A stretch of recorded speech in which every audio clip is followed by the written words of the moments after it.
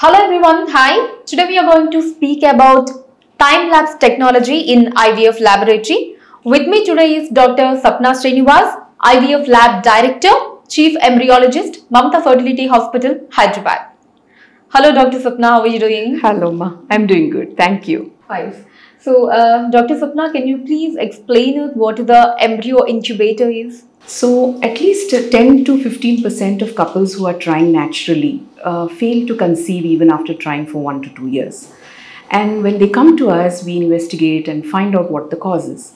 And around, uh, you know, at least 30 or 40% of them, there is a problem in severe sperm count uh, issues, uh, male factor, or a tubal factor, or an ovulatory disturbance, or uh, you know, a condition like endometriosis, where there is extensive disease in the pelvis. So, in such patients, we uh, undertake a procedure called IVF, uh, otherwise known as the test tube baby procedure.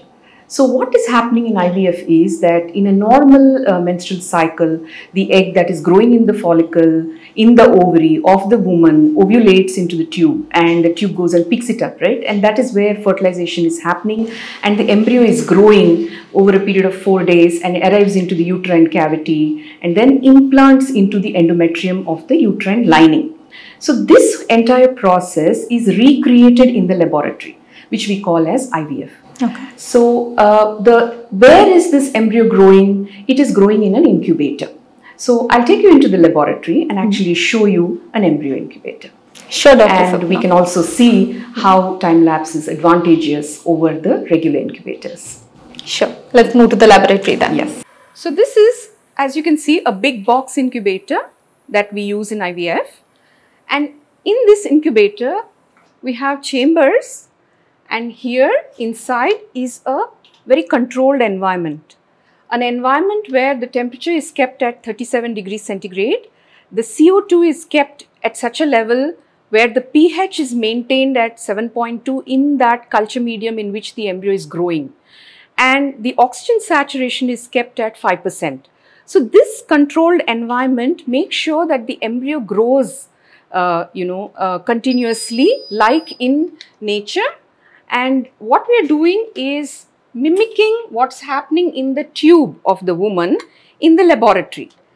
As you can see, every time I open this big incubator to take out the embryo, I am growing them in this small micro droplets um, of medium in a dish like this, which is non-toxic. And as the embryo is growing here, I have to take snapshots uh, how the process is happening under the microscope. And maybe I will be looking at the embryos for a period of three to five, you know, three to five times over that period of five to six days. So as you can see, when I open this incubator to take off, to, to take out dishes or keep back dishes, the entire culture conditions are constantly changing. And this is, puts a lot of stress on the growing embryo. So what the embryo does is it uses its important resources to maintain homeostasis with the environment instead of using them to grow. So in some way, this kind of culture environment is suboptimal for uh, growing healthy, viable embryos to the perfect sense. So, Dr. Sapna, are there different kinds of incubators? Yes. Around about in you know the late 2000s, there was a purpose-built incubator that was made for the specific purpose of IVF. So we saw that there were so many flaws in the big box incubator. The culture conditions were unstable.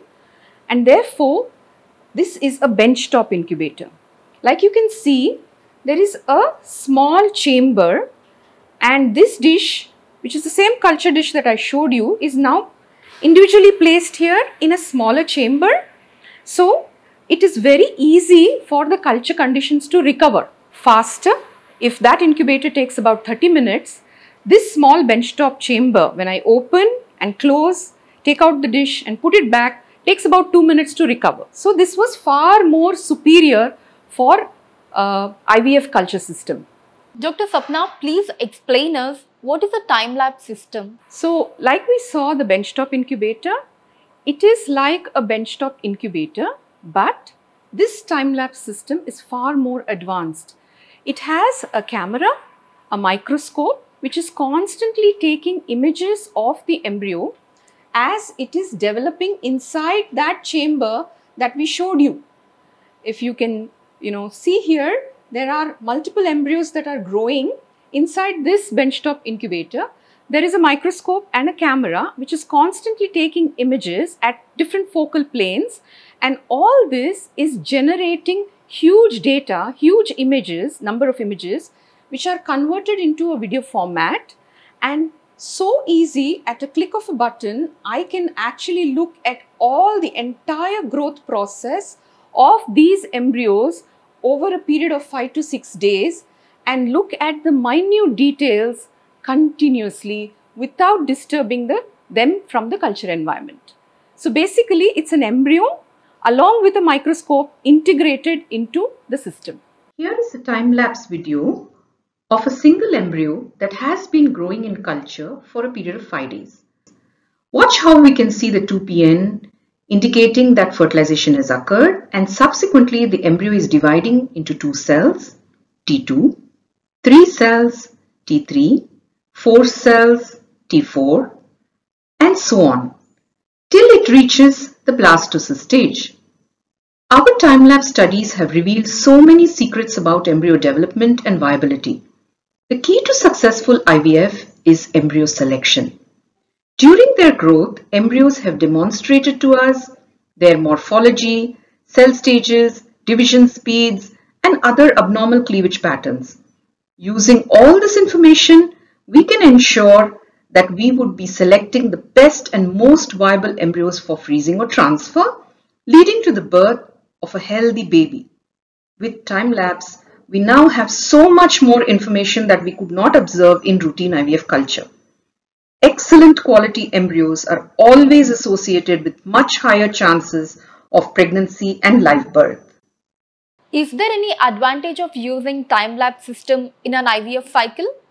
So the first thing we have already seen how the culture conditions are stable because we are not going to touch the dish out of this incubator because it's constantly being imaged inside.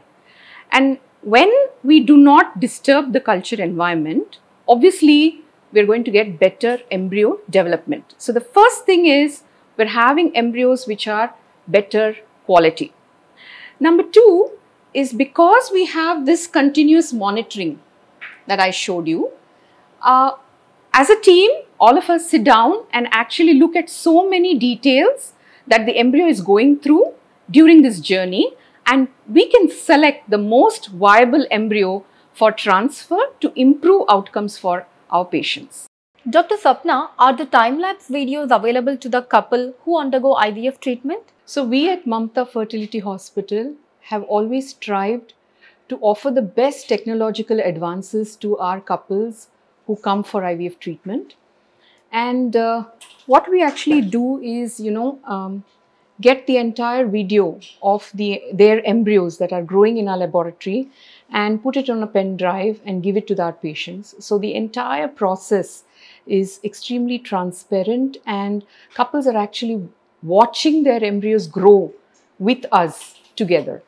What is deselection of embryos? Can time-lapse help in preventing abortion?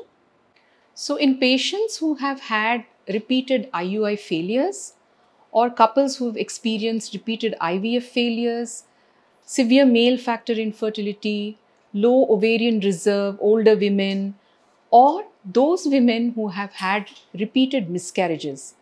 Time-lapse actually gives us a lot more information as to why all this has happened. When we look at the embryo growth process in a time-lapse incubator, and when, when we actually assess these videos, individually each and every embryo, how it is dividing, what is the time it is taking for a particular cleavage stage, so much of information is actually uh, available to us to assess why all this has happened in the past. So thank you so much Dr. Sapna for enlightening us about the advantages of time lapse in IVF. Totally my pleasure. Thank you so much for having me.